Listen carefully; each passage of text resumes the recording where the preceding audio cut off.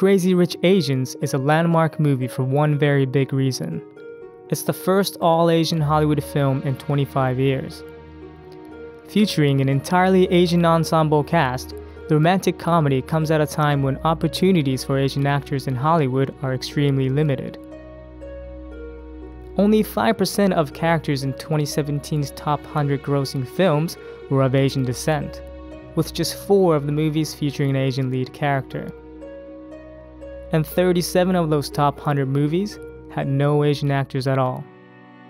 I would say, you know, we are we are normally called in to be either the gangsters or the or the food delivery guys, or you know, uh, Asian women are often called in to be either the prostitutes or uh, you know the tiger moms, and it sort of it sort of exists on these two poles. But it's really interesting. Like most of the roles tend to be sort of on the periphery of the story. They tend we tend to be sort of the information givers.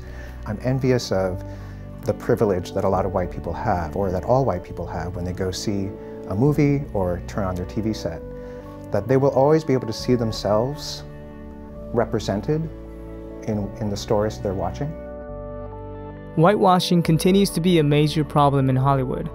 From Scarlett Johansson in Ghost in the Shell to Tilda Swinton in Doctor Strange, major studios continue to cast high profile white actors playing Asian roles.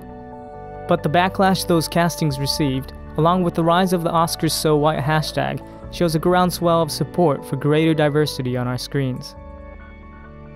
The absence of Asians, the continued invisibility of Asians, becomes increasingly um, unacceptable because we are we're no longer going to sit on the way on on the sidelines. You know, uh, these are our stories, and I am I'm not a supporting player in in the story of my life you know, and, uh, and, and we're demanding to see our stories out there.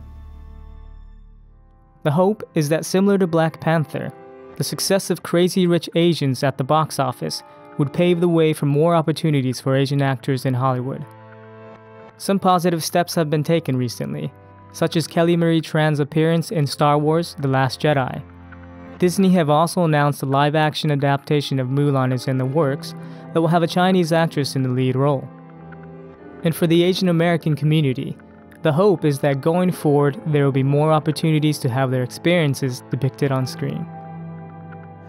Asians, for one reason or another, still continue to be the perpetual foreigner, you know, the, the, the, the outsider, the other. And uh, I think so many Asian Americans are, are hungry for stories where uh, it's just about their experience, you know, it doesn't have to be because they're Asian.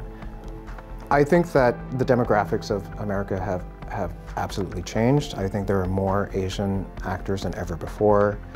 And I think that hopefully movies like, like this will, will provide the groundswell of support. And I'm seeing it. A lot of, like the Asian American community is so jazzed. And um, hopefully if the movie is successful, more movies with Asian American leads will be, um, will be produced.